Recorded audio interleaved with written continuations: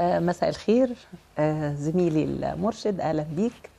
آه، نكمل مع بعض المواضيع اللي بنطرحها اللي كل الهدف منها إن حضرتك تكون أعظم مرشد وبإذن الله يا رب يجعلني بقول حاجة مفيدة ولو قد كده. كل اللي بقوله مش علشان أنا أشطر من حضرتك خالص كل اللي بقوله علشان أنا مريت بتجارب غلط فتعلمت. فحابه اني أنا انقل لحضرتك الخبرة دي عشان ما تغلطش أو يعني لو غلطت تغلط في حاجات بسيطة إن شاء الله وتكون آه، مرشد ناجح بسرعة ويفضل اسم المرشد المصري آه، عالميا هو الأفضل على الإطلاق. آه، حضرتك عارف إنه في برنامجنا سواء برنامج أسبوع كامل سواء يوميات في كايرو بيبقى دايما متوقع إن ال guest بيحتاج يشتري souvenir دي حاجة معروفة ومتعارف عليها بينا كمرشدين بينا كمرشدين وشركات بينا كمرشدين وشركات وشركات أوروبية كمان. فبيبقى في ديل مفهوم إن في وقفات بن بنعملها والجست بينزل. أحب قوي إن حضرتك علشان تكون برو مرشد يعني فعلا ما شاء الله عليك متخصص وفاهم أنت بتعمل إيه. زي ما قلت لحضرتك كده إنك هتديله فكرة بانورامية عن يومه. يعني لو حضرتك هتبتدي آه، تعمل هرم منفي السقارة فأنت عارف إن في مش هرم منفي السقارة وشكرا لا ده في غدا وفي محل بردي أو سجاد أو آه، عطور أو فأنا أفضل جدا إن حضرتك مع البداية بتاعت اليوم لو لسه بتتعرف عليهم بتعرفهم على نفسك و و و بس آه، آه، آه، حتى لو تاني يوم أو تالت يوم أنا أفضل إن في أول اليوم حضرتك تديله فكرة بانورامية عن اليوم هيمشي إزاي. عندنا كذا وكذا وكذا وهنقف كذا.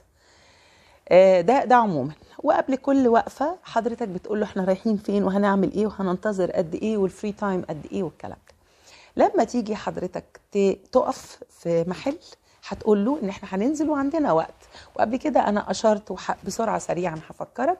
أشرت إنك لو حضرتك عايز تحافظ على احترام المجموعة ليك حافظ على المواعيد. قلت هنا free time 10 دقائق ما يبقوش ربع ساعة ولو بقوا ربع ساعة ده بيبقى غصب عنك عشان في مجموعة اتأخرت ودايما إحنا بنبقى حاطين هامش كده 10 دقائق زيادة.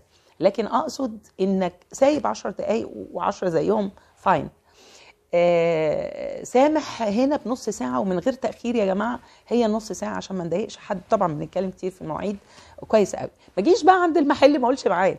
لا لا هقول ميعاد. هقول إن إحنا نازلين وهنقعد 40 دقيقة هنقعد نص ساعة هنقعد 10 دقايق وات وقت حضرتك هيسمح بإيه. إنما آه، لازم تقول الوقت وتحترم. طيب آه، النقطة دي نعديها لأن أنا اتكلمت فيها قبل كده، النقطة اللي النهاردة عاوزة أكلم حضرتك فيها بمناسبة وبخصوص المحلات هي نقطة آه، آه، ال- ال- اللي بيحصل لك بعد ما بتخرج من المحل. المجموعة اشترت حلو أنت مبسوط ومزقطط وبتعاملهم حلو وبتشرح لهم وبتدلعهم.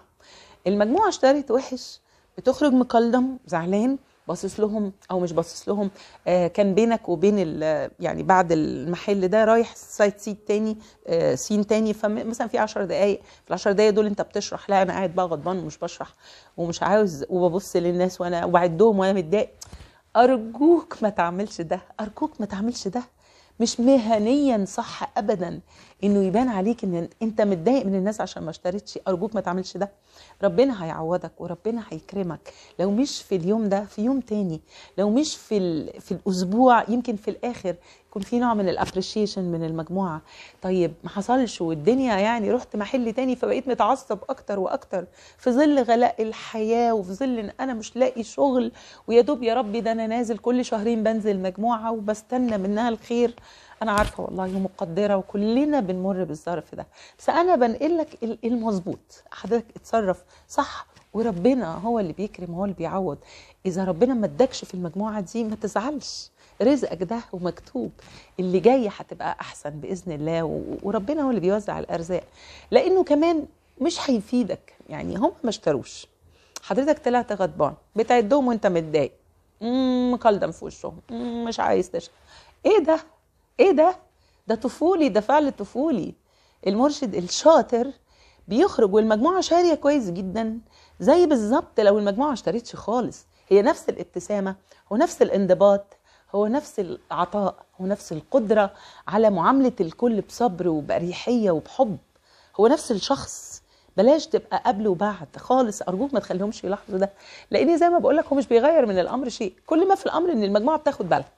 إذا ما خدتش بالها في أول مرة هتاخد بالها بعد كده. فليه؟ ليه؟ لأ اتعامل عادي وخليك آه يعني والنقطة كمان اللي أنا عايزة أشير إليها هي برضو مرتبطة بده. ان وإحنا رايحين المحل بلاش أبقى بوشي عمالة أزق. يا جماعة اشتروا من هنا وإلا مش هتلاقوا في الكون حاجة أحلى من اللي هتلاقوها. كلنا بنلعبها يا أولاد بس العبوها smart play smart play smart ما تبقاش pushy. اشرح بهدوء. آه قول لهم إحنا رايحين نشتري إيه. طبعا لازم تدي briefing كده. أنت رايح فين؟ الناس دي هتشوف إيه وممنوع التصوير ولا لأ؟ أو كل النقاط اللي تخليك pro أعملها. مظبوط. هنا في المكان ده ما بيسمحوش بالتصوير خالص إلا على ترابيزه الشرح زي في البردي مثلا. أو هنا ما بيسمحوش أصلا. أو هنا لا عادي براحتك. ممكن هيديك هدية في الآخر. اشتري لو اشتريت ما أعرفش بكام هيديك هدية. بس ما تقولهاش وأنت جعان.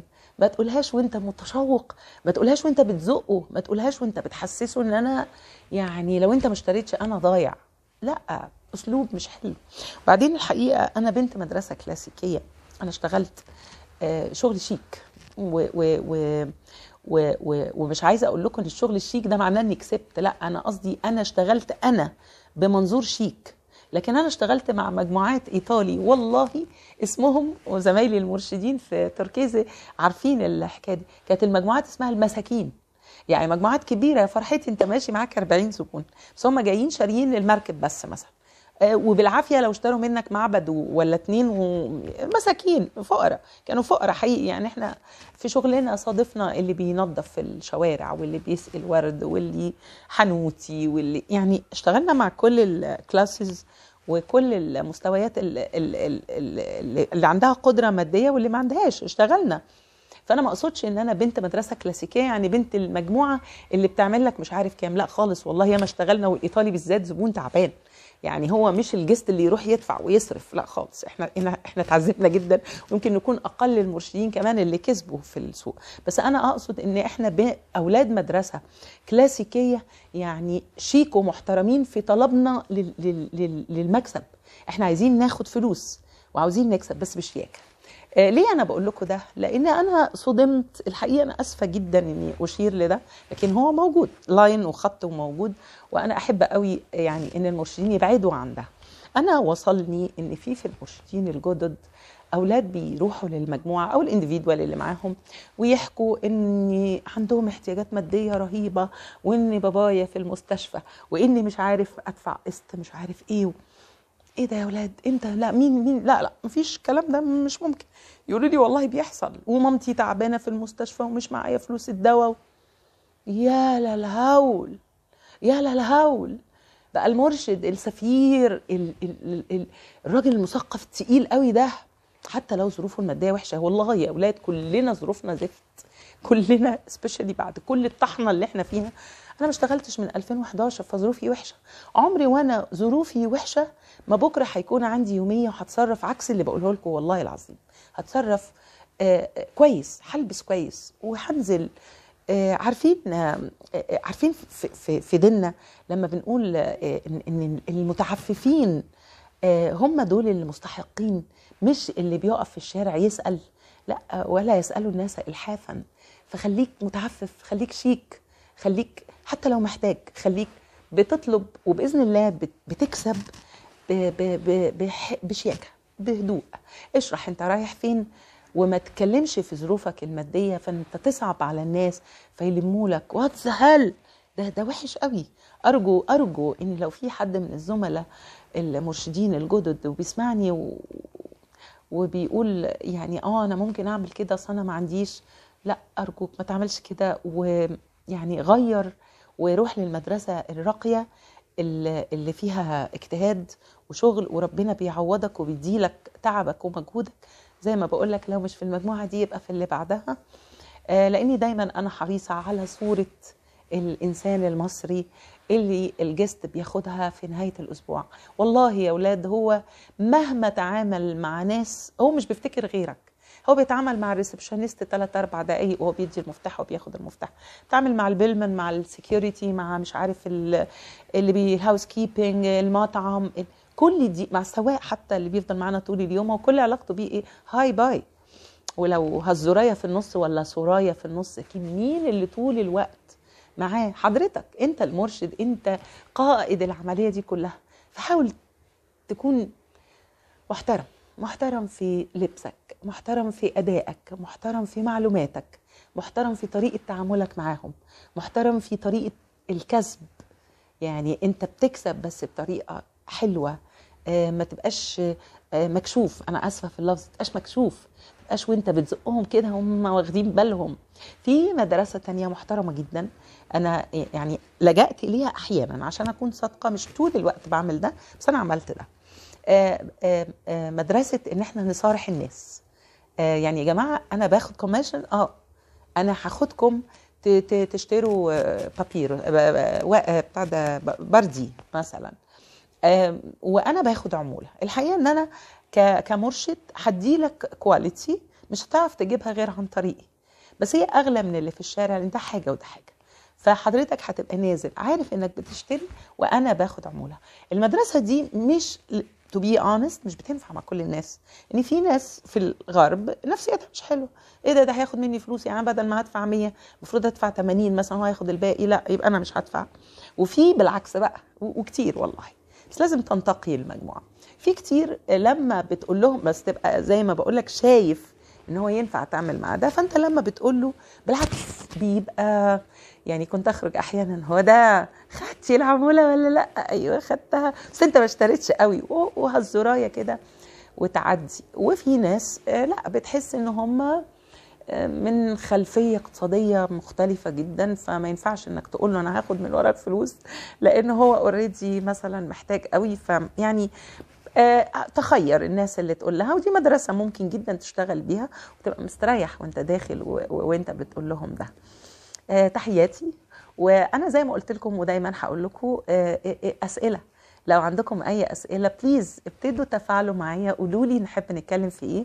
أنا الحقيقة واخدة الخط بتاع كل النقاط ال critical في شغلنا اللي بعيدة عن الشرح أصل أنا مش هقف أشرح لك متحف ولا هرم.